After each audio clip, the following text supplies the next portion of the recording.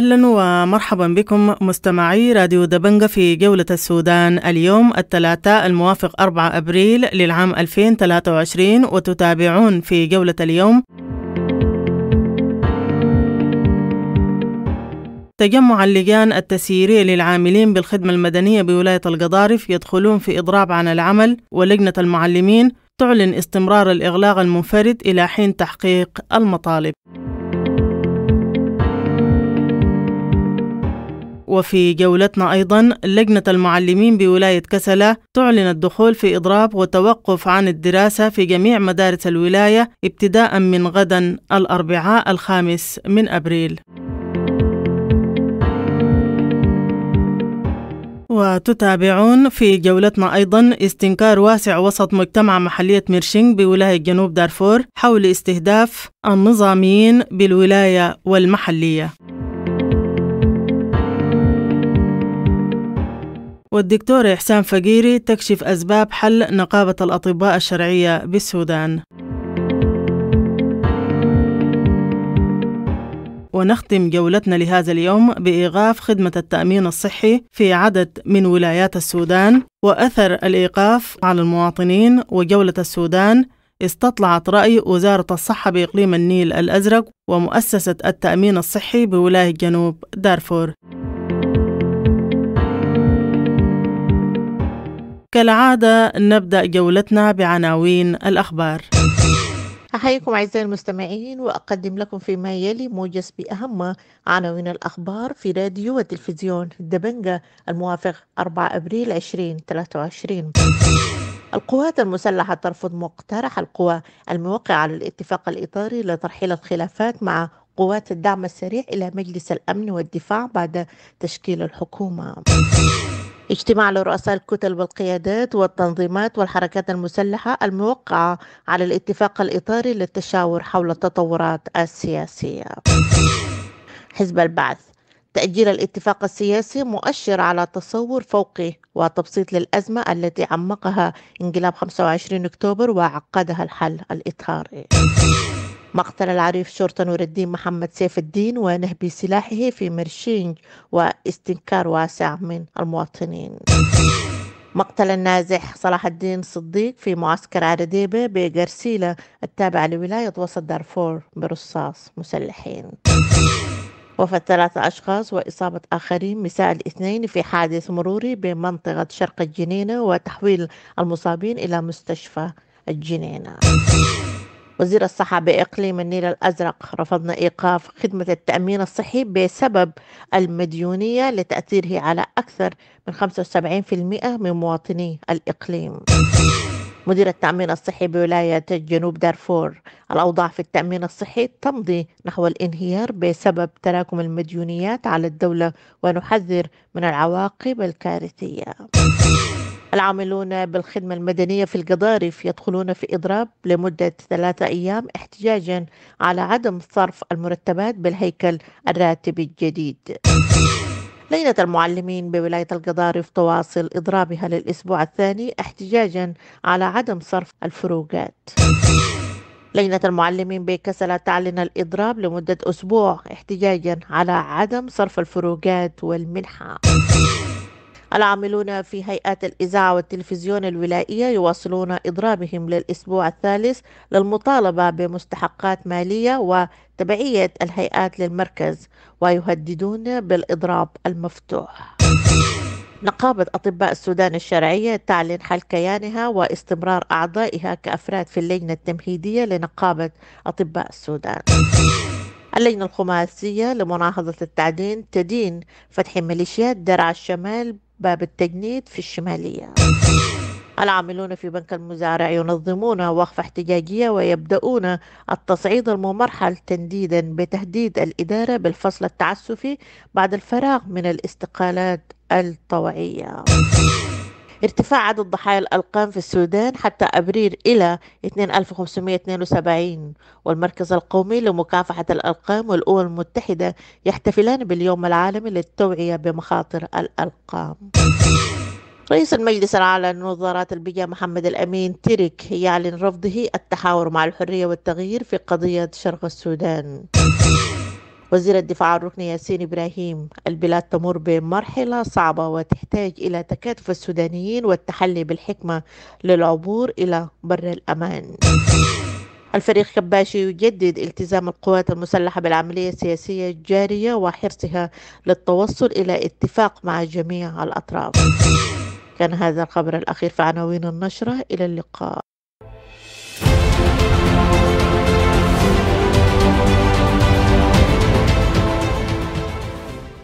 مرحبا بكم من جديد المستمعون الكرام في جولة السودان اليوم والبداية من ولاية القضارف والتي دخل فيها تجمع اللجان التسييرية لعمال ولاية القضارف في إضراب عن العمل اليوم وهذا التجمع يضم كل العاملين بالخدمة المدنية بولاية القضارف وبلغت نسبة الإضراب 90% وتوقفت عدد من المؤسسات عن تقديم الخدمات للمواطنين في القطاع الطبي المستشفيات والمراكز الصحية إضافة إلى المحصلين بوزارة المالية والمحليات. المزيد في حديث الأستاذ مدثر هاشم عضو تجمع اللجان التسييرية للعاملين بالخدمة المدنية العامة بولاية القضارف.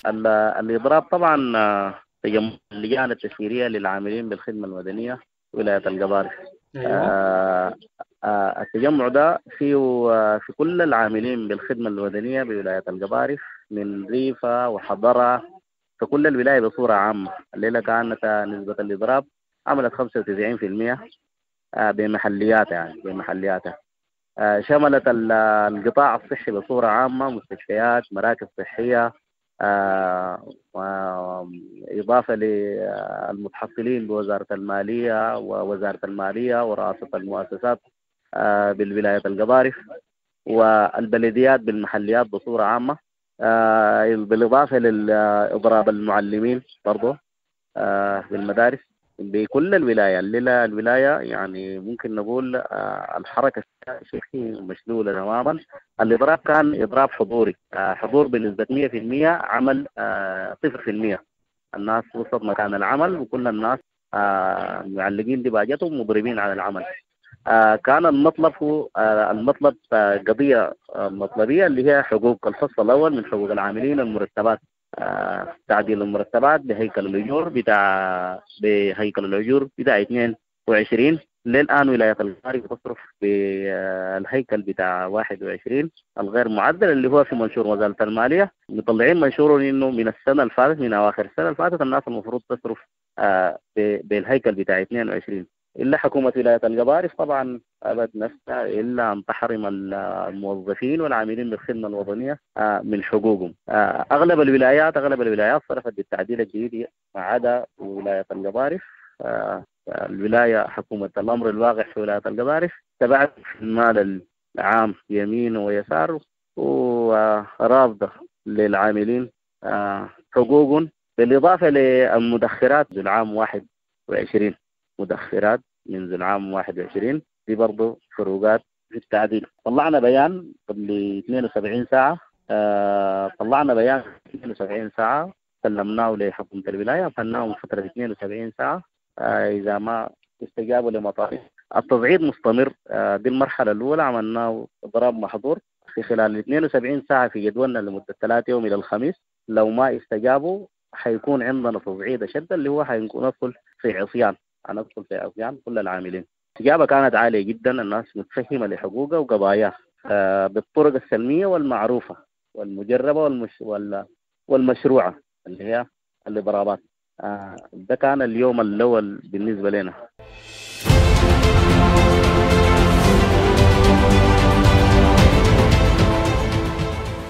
ونبقى في ولاية القضارف حيث أعلنت لجنة المعلمين عن الاستمرار في الإضراب المنفرد والذي بدأ من السادس والعشرين من مارس إلى أن تتحقق جميع المطالب. المزيد في حديث علي جيلاني عضو لجنة معلمين القضارف. طبعا اللي هو الإغلاق في ولاية القضارف هو إغلاق منفرد. آه تسببت فيه واللي هي ولاية القضاء آه مالية وحكومة ولاية القضارف. بأنه تحولت الاستحقاقات آه اللي هو تابع لتنفيذ القرار 380 من شهر يناير لغاية يوم بداية من شهر يناير. آه ما يتنفذ.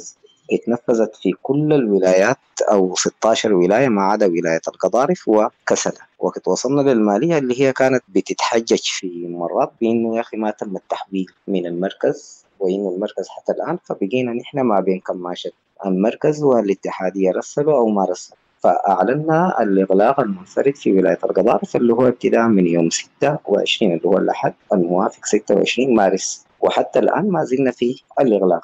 آه بعد الإغلاق مباشرة اللي هو تم الاعتراف من قبل المالية وبالأمس والي ولاية القضارف برضه اعترف بانه والله يا أخي هو تم التحويل بتاع المبلغ لكن المبلغ وقت يتحول يتحول صملم يعني. ما ما ما, ما مفصل جوا ده وإنه الخطاب ذاته بتاع التنفيذ بتاع القرار ما جاء إلا في شهر ثلاثة اللي هو بالضبط يوم 16 ثلاثة والخطاب ما وصل للمالية إلا يوم 24 ثلاثة. فبالتالي طوالي قاموا أصدروا آه قرار بتعديل آه الأجر بتاع مارس بعد ما كان رفعوه بالقديم. تم حسا تعديله على أساس إنه يصرف بالشهر آه اللي هو بالتعديل 380 آه وقت بدينا نسأل عن الفرق بتاع شهر واحد وشهر اثنين فما قدروا يدونا زمن محدد يعني. نحن مشينا معاهم فيلين أكتر يعني. حددوا لنا زمن إن شاء الله بعد شهر بعد شهرين نحن نعرف إنه المستحق بتاعنا ده. يعني الكلام ده كان في الأسبوع الأول. فأبوا يقدروا يحددوا زمن وإنه قالوا ما, ما حاليا ما جاهزين وما بيقدروا يلتزموا بزمن وبعد ذاك يقوموا آه ما يلتزموا به آه عموما في الأسبوع الثاني اللي هو بداية من يوم 2 2 أبريل أعلنا مواصلة الإغلاق لمدة آه أسبوع وما زلنا في تواصل ما بين المالية على أساس إنه نلقى مخرج للحل وخاصة نحن نعرف إنه طلاب الشهادة السودانية آه حيكونوا هم أكثر ناس متأثرين أو أكثر شريحة من الطلاب متأثرة لأنه تم تحديد الزمن بتاع الامتحان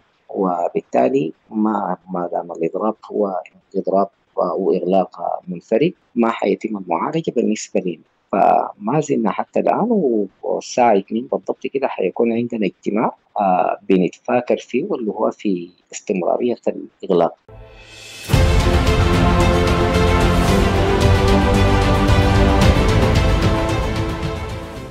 ومن ولاية القضارف ننتقل إلى ولاية كسلة والتي أعلنت فيها لجنة المعلمين الدخول في إضراب ابتداء من غدا الأربعاء الخامس من أبريل. توقف العملية الدراسية في جميع مدارس الولاية إلى حين تحقيق جميع المطالب. جولة السودان التغت عضو لجنة المعلمين سيد تنبا للمزيد حول إضراب المعلمين والذي من المقرر أن يبدأ غدا الأربعاء في الخامس من أبريل. مرحبا بك. والله الإضراب ده الإضراب ده طبعا إحنا إحنا طبعا ملتزمين بالخط المركزي بتاع لجنه المعلمين المركزية. ولجنه المعلمين المركزية أي طبعا هي رفعت الإضراب لتفاصيل معينة كده وأغلب ولايات السودان هي نفذوا لها المطالب بتاعتها. أو نفذ القرار 380 وادوم فروقاتهم وادوم المنحة اللي ولايتين هي ولاية القضارف ولاية كسله ما عندها أي حظ في التعديل الحصل لكل ولايات السودان. لذلك إحنا في ولاية كسله دايرين نبقى أسوة بكل زي كل ولايات السودان عشان ننال الحقوق بتاعتنا وأعلنا الإضراب بتاعنا بعد اجتماع عاصف بتاع المعلمين يوم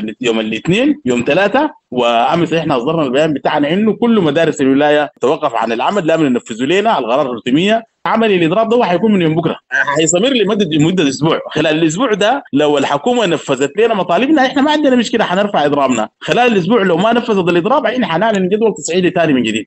لأنه إحنا هسه الليلة سوينا طواف لكل مدارس المدينة هنا. آه وخاطبنا الممثلين بتاعنا فوق المحليات والاستجابة كويسة يعني 100% نتوقع إنه حيكون 100% لأنه دي مسألة بتاعت حقوق يعني. ده شغل شغل بتاع حقوق يعني ما شغل سياسي. وده نتفق عليه كلنا نتفق عليه في في في الحقوق. لا التواصل هو طبعا مركزي لجنه المعلمين ده ما جسم راسي. إحنا هسه تفاصيلنا دي كلها بتاعت الولايات بتكون تجي من من الخرطوم من فوق. إحنا تواصلنا مع الخرطوم. ناس الخرطوم قالوا تواصلوا مع مع أمانة الحكومة ولايه كسله ناس ولاية كسله قالوا هم عندهم قروش ينفذوا القرار ده. لذلك أنا إحنا ما في داعي نتواصل مع الولاية لأنه أصلا سلفا اللجنة المركزية تواصلت معهم.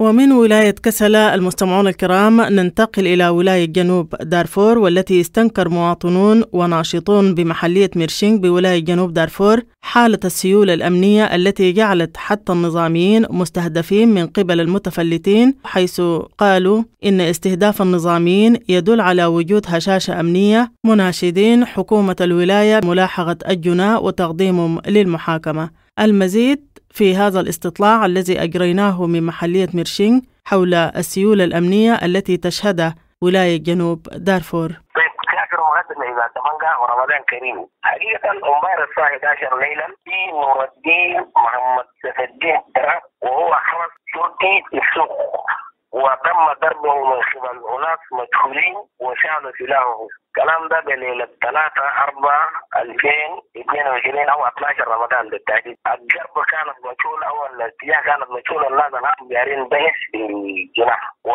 طيب ما هي تحركات الحكومة؟ لأنه هذه الظاهرة يعني تكررت تقريبا مرتين في شهر واحد يعني. والله الحكومة طبعا بذل جهد كثير من الليلة امبارح طبعا الشرطة والجيش وكل القوات المهنية الأجهزة الأمنية بالمهنية كامل جايرين البحث انه كيف يقبض على الجناح وجابوا الكلمة البوليسي الآن هم مستمر بانه كيف يبحث انه هذا الشخص ده موجود داخل المهليه أو خرج من المهليه ومن أي مصدر ذاته اتي يعني إنه يقتل شرطي بداخل السوق. آه بسم الله الرحمن الرحيم. آه يو عبد الرحمن محمد محلية مرشين. آه نحن أول حاجة بنترحم على الأخيط ركن آه على روح الأخيط ركن عبد العظيم. آه ربنا يرحمه ويحسن مسواه.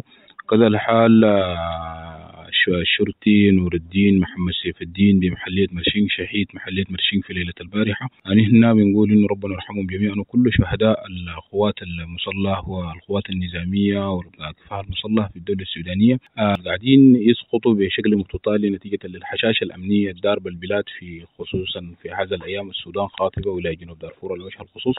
وخصوصا نحن هنا في محلية مرشين يمكن آه في خلال الأسبوعين أو الأشهر أيام الفاتت آه كلكم قد تابعتم في الصحف وفي الإذاعات وفي كل الوسائل التواصل الاجتماعي. الحادث المعلم بمنطقة جروف في محلية مرشين اختطاف عربة الشرطة مدججة بالدوشكا وأمبارح فرد بتاع شرطة اللي هو نور الدين الشبلي نور الدين محمد سيف الدين تم اغتياله في داخل سوق مرشين وهو بيقوم بعمله في مسألة بتاع تأمين السوق. والكلام ده نحن بنرجعه للحشاشة الأمنية وعشان كده من داخل محلية مرشين بنقدم نداء عاجل إنه الحكومة السودانية والناس القائمين على أمر السلطة إنه يوفروا أمن وطمأنينة بالنسبة للمواطن لسنا نقدر نعيش حياتنا بشكله بشكله الطبيعي. سليمان احمد الدين محلية مرشين في البطي الرحمة والمغفرة لكل شهداء الوطن الذين ضحوا بأرواحهم رخيصة ثمنا للتخيير وبنيه هذه الشعب المجيد. آه الرحمة والمغفرة لكل شباب صناع التخيير شباب ويوم صاهره هم يسعون عمل بجد وإخلاص. لا ننسى نقدم تعزينا حارة لأسر نور الدين والضابط عبد العظيم وكل العاملين بالشرطة. حزينين جدا جدا كمجتمع مرشين. أن نفقد أبناء وطن قاعد تقوم بتقدي عملها الدوري من أجل حماية المواطنين ومن أجل حماية سوق. يوصفني كل التعاطف وحزينين كلنا كمجتمع محلية مرشين بأن نفقد ابننا نور الدين شبلي وباغتيال من قبل مجهولين أثناء أداء واجبه إن ظل يدل بوجود هشاشة أمنية بمحلية مرشين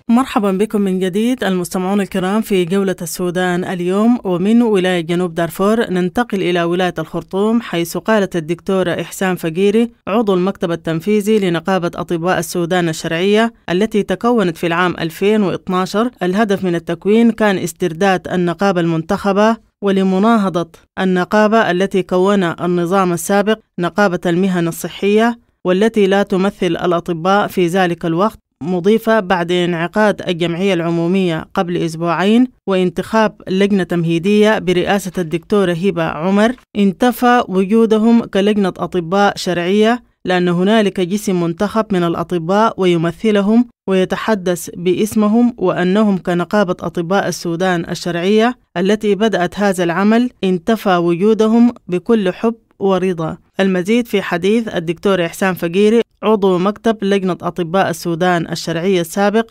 لجولة السودان. آه طيب طيب أنا أصلا عضو في المكتب التنفيذي لنقابة أطباء السودان الشرعية. نعم. النقابة أطباء السودان الشرعية تكونت عام 2012 في يوليو. إحنا لما كونا النقابة الشرعية في مستشفى الخرطوم كان هدفنا استبداد النقابة المنتخبة. يعني نحن نقعد كجمعية عمومية كافة الأطباء ينتخبوا تبقى في نقابة منتخبة.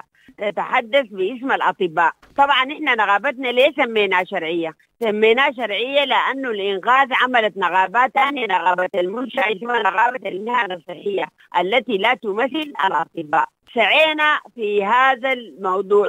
في انه نحن كيف نعمل جمعية عمومية وكيف نسجل الأطباء وكيف نتصدى لمشاكل الأطباء. رفعنا مذكرات وعملنا وقفات أيام تجفيف المستشفيات وإلى آخره. للأسف البروفوميدا أو المخدم ما ما اعترف بنا طبعا. نعم. لأنه الانغاث كان عندها خطة معينة لتقطيع أوصال الحركة النغابيه آه وبالتالي إحنا استمرينا لغاية ما جاءت في 2016 ظهرت آه لجنة الأطباء المركزية. نعم. نحن أيضا سعينا إنه يكون عندنا منبر واحد للأطباء. منبر واحد حتى هو ما منتخب لكن منبر واحد يتحدث عن الأطباء. سعينا كثير لم نتوفق إلا قبل الثورة بشوية. قبل الثورة 2018 لأنه كان حيكون في إعلان للأطباء إعلان الإضراب العام نعم أيام الثورة فكان لازم يكون عندنا جسم موحد عشان كده قامت النقابة يعني عملنا الجسم الموحد ده اسمه مكتب الأطباء الموحد الذي خاض الإضراب ومعالجة المصابين والعمل في العيادات أيام الاعتصام وإلى الآن يعمل آه في معالجة المصابين. يبقى دورنا لما نحن جينا عملنا الجمعية العمومية قبل أسبوعين وانتخبنا اللجنة التمهيدية برئاسة الدكتورة آه هبة عمر. يبقى انتفى وجودنا. انتفى وجودنا. بقى في جسم منتخب آه انتخبوه الأطباء بيمثلهم وبيتكلم باسمهم يبقى نحن كنقابة أطباء السودان الشرعية التي بدأت هذا العمل النبيل يبقى ينتفى وجودنا وينتفى وجود المكتب الموحد اللي كنا فيه ثلاثة أشهر عادي طبيعي. طالما في جسم ثاني منتخب شيء طبيعي أن إحنا وصلنا لهذا القرار بعد انتخاب اللجنة التمهيدية. وحنكون وقوفا وقوفا كأفراد مع اللجنة التمهيدية ل- لغاية ما تجي اللجنة التنفيذيه بعد ستة شهور. يعني ده قرارنا نحن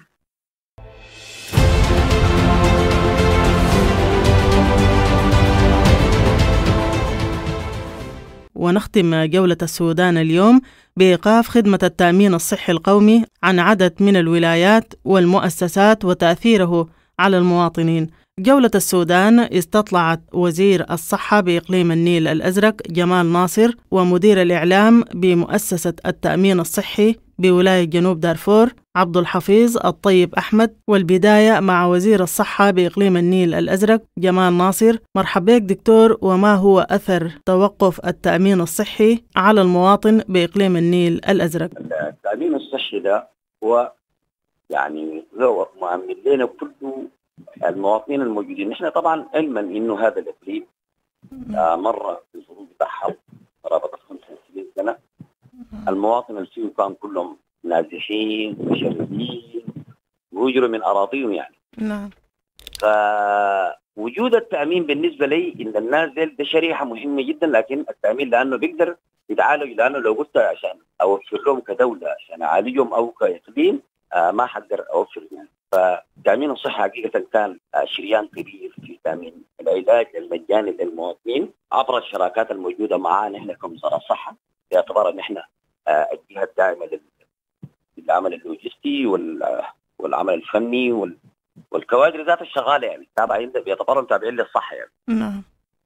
آه حقيقة أنا في نظري إنه بعد ذاك التقلبات اللي حصلت ذاته ال- التامين الصحي تكون تابعه للرعاية الاجتماعية وكانت في الوزارة السابقة ورحلت مشت هناك كده فدي برضه كانت واحدة من الأشياء اللي كان هنا لو كان أصلا المفروض حتى الاضافات لبتاع التأمين الصحي ما دام شغله ثلاث ارباع في الهيل المفروض يكون تابع له لوزارة الصحة. لأنه يكون هنا بشغل منسق اللي حصل هسه الآن في في إقليم السودان عامة للتأمين الصحي في مناطق ولايات قفلوا. لكن إحنا في النيل الأزرق في إقليم النيل الأزرق آه، رفضنا. آه، وأنا شخصيا كوزير الصحة جانا خطاب إنه الناس دي المطلوبين مديونية ولازم آه، إما يسددوا إما يضيفوا. طيب إذا سددوا ما حن... ما حيدفعوا المد- المديونية. وإذا نحن برضه قفلنا التأمين ثلاث أرباع شعبنا ثلاث أرباع شعب النيل الأزرق إذا قلنا تعداد السكان مليون ونايف أو مليون و200 نعم. معناته المليون و100 دول كلهم حيكونوا موجودين أمام وزارة الصحة وامام المستشفى في المشفى لأنه هم أصلا عمادهم كامل على هذا التأمين في العلاج. نعم. لأنه الواحد فيهم حتى لو ماشي فحص له دم ساي ما عنده إمكانية يدفع التأمين بيدفع. التأمين بيدفع له العلاج. التأمين مش بيشتري الصيدله فأنا قلت لهم لا خلونا نعالج الشغلانه دي في إطار إنه نوعد مع ناس التامين أنتم كيف حتقدروا تسددوا لبعض من المصالح حقاتهم لحد تدريجيا لحد ما. طيب المشكلة دي ما مشكلة صندوق التامين إنه القروش ده هم تهلكوها ودوها في حتة. لا لا لا عشان تكون في الناس ما تكون فيها فهم غلط. في مديونات على وزارة المالية الاتحادية نفسها. المفروض الخصم بتجي من ال- الأنشراس من كل عامل ومن كل هنا. ده المفروض تنزل. لهم لهم فترة طويلة ما نزلت لهم. الزكاة ذاته الزكاة إن كان على مستوى المركز أو على مستوى الإقليم.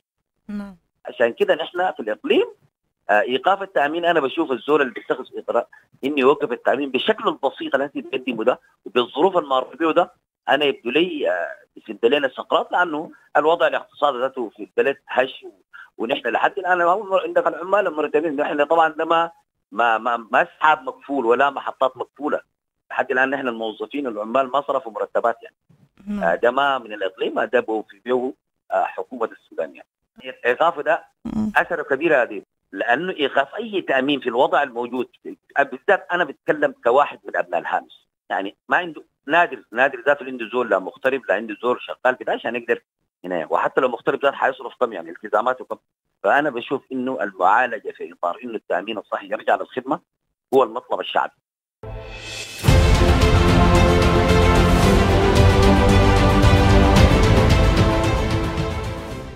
ونبقى في إيقاف خدمة التأمين الصحي القومي عن الولايات. والآن ننتقل إلى ولاية جنوب دارفور. ونستمع للأستاذ عبد الحفيظ الطيب عبد الله مسؤول الإعلام بمؤسسة التأمين الصحي بولاية جنوب دارفور.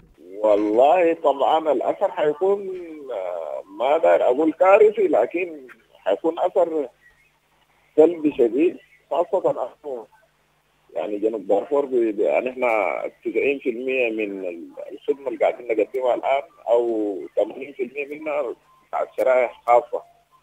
في شرائح اسر صغيرة ارامل وأيتام كبار ومساكين.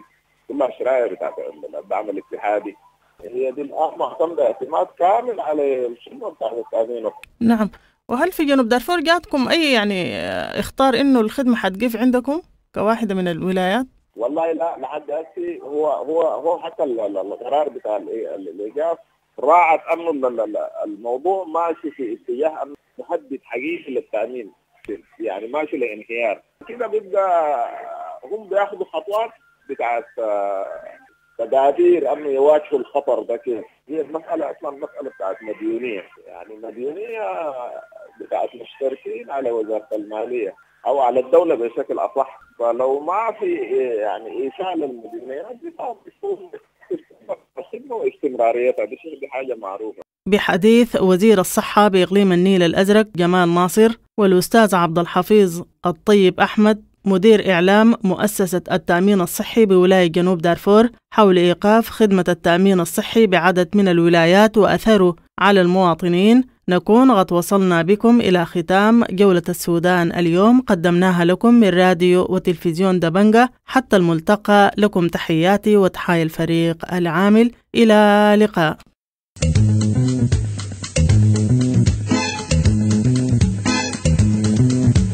راديو دبنجا راديو دبنجا راديو دبنجا راديو راديو أعزائي المستمعين شكرا لاستماعكم لراديو دبنجا ونلاقيكم بكرة. دمتم بألف خير وإلى اللقاء.